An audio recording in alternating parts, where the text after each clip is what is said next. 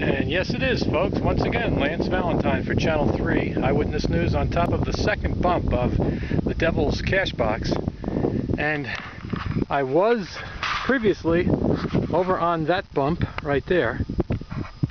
And I made my way down and over to here. Looks like somebody has been rappelling. I don't see any people, but the rope is here. And it's a steep, sheer cliff right here. Now turning around and giving you an opportunity to see some of the quality of the rock up here.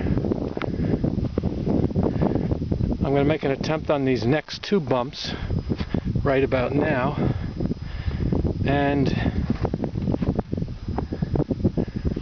once again we have our canister to sign in and still to be conquered right over here we have as I said two more bumps.